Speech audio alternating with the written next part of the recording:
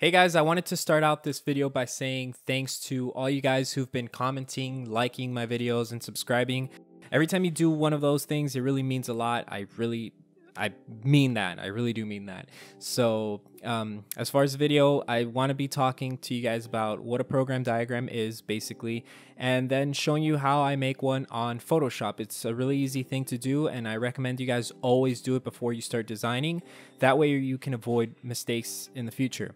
But what exactly is a program diagram? Sometimes it's called a bubble diagram. These are diagrams that you create before you start designing and you start coming up with the spaces that are going to be located inside your design. But at the same time, you want to see how big or small these spaces are in relationship to each other.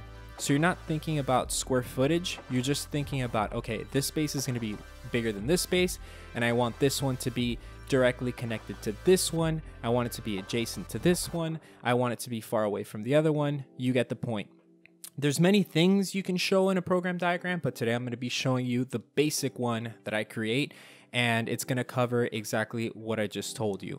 So the first thing I do on Photoshop is I create four groups. I divide it by private, public, semi-private, and support spaces. And these support spaces can be your laundry room or a mechanical room, and like I said, you can divide it however you want to. Some people do it by hierarchy, but I, I like to do it of, uh, divided by private versus public.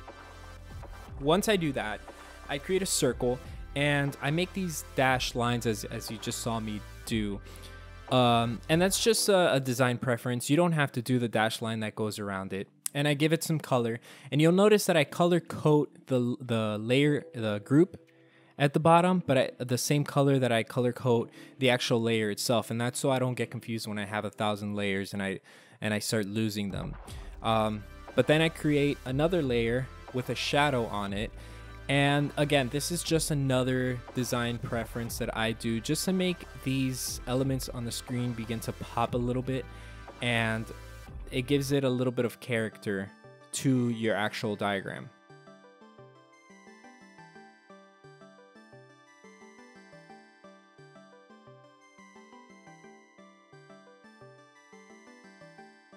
Once you do that, you select the text box option and then you name each bubble and now these bubbles begin to represent the spaces. And you can play around with the with the size later and, and I'm going to show you how to do that.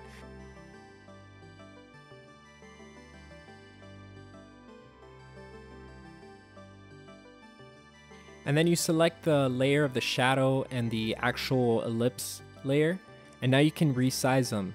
Don't ever select the text because then it's gonna make it go crazy. But once you've done that, you can close that group and then name it. And like I said, it helps if you stick to naming things and color coding everything so that you don't make, make mistakes in the future and you don't lose your stuff, especially when it's the end of the semester and you want to go back and you want to edit something. You have no idea what you've done and sometimes you have 50 100 layers you know I've, I've even had 300 layers in some cases. So yeah it does get messy. Try to be as organized as possible. But i don't have to be telling you guys that. You guys should know. So then it's as easy as duplicating the group right? And something that i'm doing here is um, i'm reshaping the bubble because we have a master bedroom and we're making now the second um, bedroom. And obviously we don't want these to be the same size. Now, like I told you before, we're not talking about square footage here. We're just talking about the relationship these spaces have with each other. So I'm making my second uh, bedroom now, and you're gonna notice I'm gonna keep it the same size as my first bedroom because in my in this case in this uh, house that I'm designing, these two rooms I want them to be the same. And now my uh, imaginary client in this case wants an office and he wants a private office. So it's going to stay in the private group. Um, and I'm gonna, and, and he doesn't need a huge office. He just needs something personal. A little tip is that if you want to, um, design is all about detail. So when you're making these diagrams, you want to put as much detail as possible, even if it's little subtle moves. Something that I like to do is that shadow layer I created, I like to rotate it just a little bit people won't notice off the bat, but subconsciously people start to notice that you're putting in a little bit of more detail into it that they don't really realize what you're doing, but it just makes things pop and it makes things read so much better. So I like to rotate my shadows a little bit, and I don't do it all the time, um, but but I try to do it as often as possible. So we're pretty much done with our private spaces. Uh, my client doesn't need a bathroom. He says he'll use the backyard, so we're not going to add any bathrooms to this house.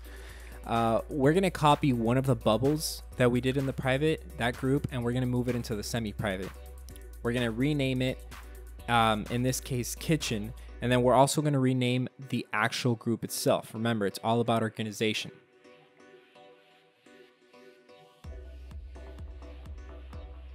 And we're going to go ahead and change the color of it. Now, changing the actual color of the bubble is really simple. All you have to do is select the layer and then make sure you select on the left hand side the ellipse tool. That way it'll unlock all the properties of the layer itself and then you can change the color. And you'll notice that I select the color, but I usually select one from the palette and it's very intense. So then I go a little bit deeper and make that color lighter. And my client wants a big kitchen. He wants a kitchen the size of the master bedroom, which is going to be huge in this case. So we're going to make one the bubble that's a similar size to the master bedroom. In this case, we wanted to add a library to our design and we wanted a, a, personal library. So what I did was that I compared the size of the bubble of the library from the one in the office and that's the really good thing about these diagrams is that you can take one of the bubbles that you've created and move it around and now you can start playing around with the location and you can start playing around with the sizes actually comparing it to other spaces so in real time you can design without actually having to use any other program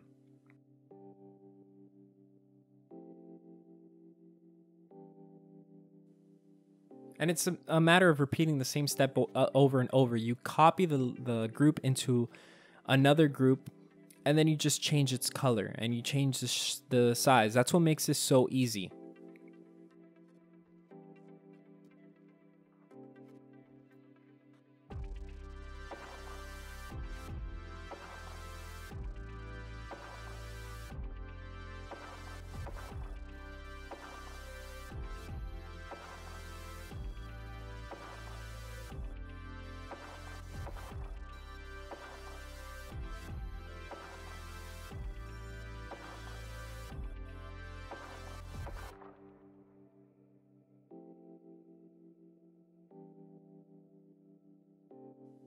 So once you have all your spaces decided and once you have them all created, now we want to get into the actual fun part, which is playing around with the design of the space. Now, something I like to do is I like to show my main circulation as a rectangle and I play around with the graphic of it.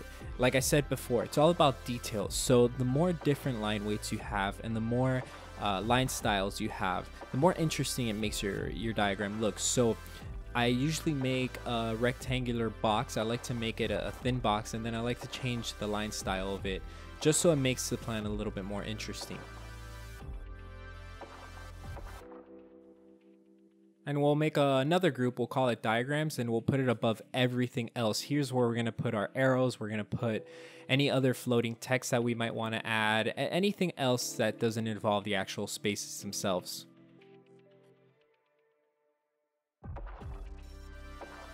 Now you can easily create your own arrow or you can do what I did, which is go to Google, type in arrow PNG, and just bring that into your Photoshop file.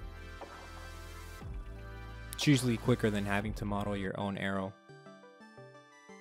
So this arrow represents my main entrance. This is where the entrance of the house is going to be located.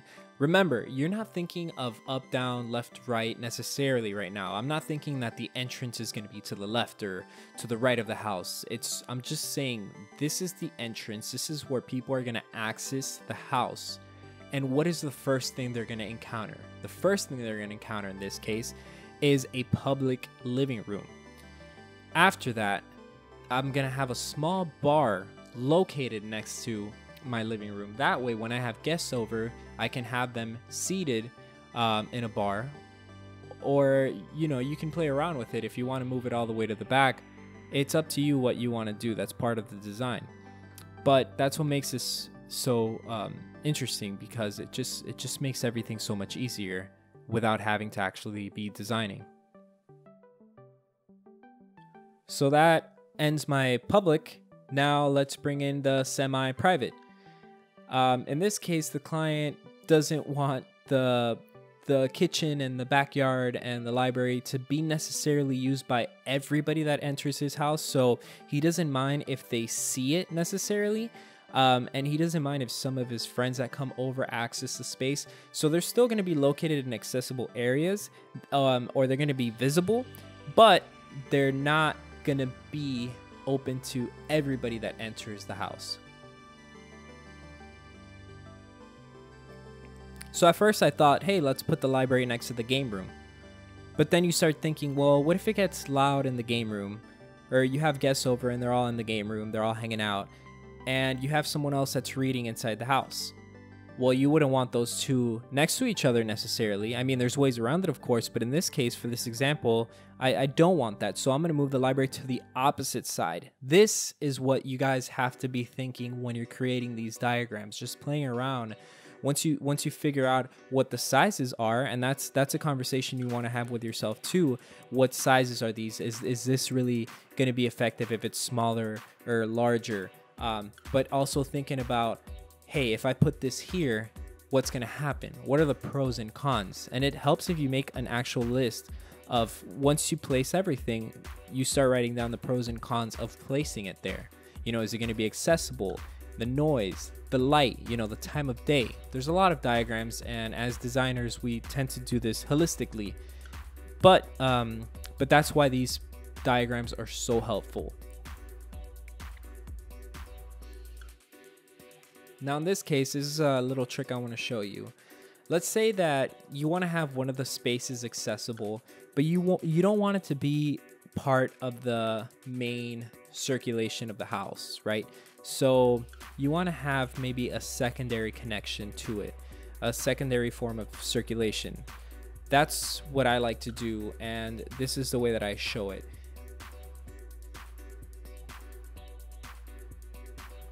And I can't stress it enough, guys.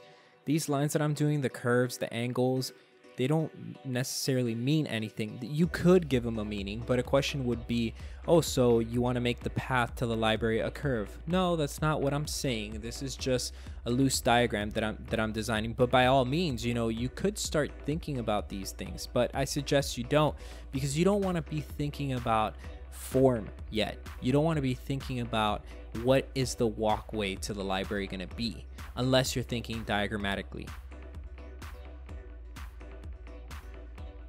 So once I have all my spaces uh, selected, we're gonna go on and move to the private area, the bedrooms of the house.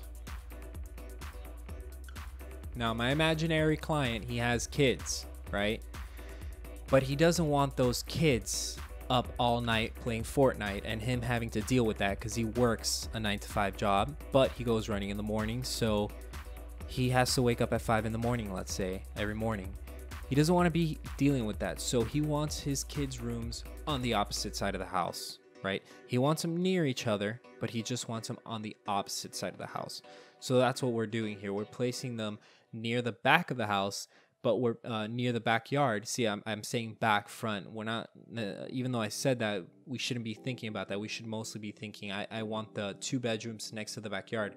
So the client wants his two um, or rather all his bedrooms near the kitchen and near the backyard for the best access, but he doesn't want them to be near each other necessarily. And then we place a secondary arrow.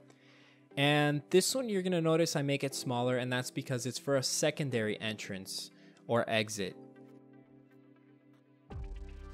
And now that we've placed everything where we want to place it, we start making the connections again.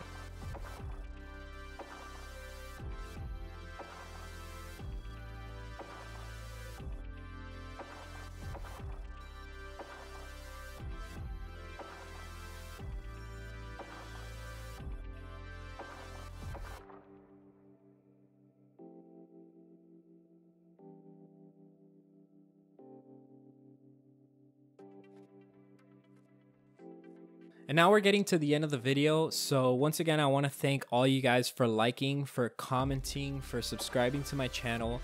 Um, I can't stress it enough that if you have any question, I don't care how simple or dumb you think it is, go ahead and ask it. I'm because I'm a small channel, I'm really good about answering. I'll pretty much answer immediately once I get that notification. If I don't, it's usually because I'm either sleeping or at work. Um, but feel free to reach out and I'll try my best to help you out. And if your um, comment or question is something that is kind of complicated to answer, I'll probably even make a video and I'll throw it at you. So thank you guys again, and I'll talk to you guys soon.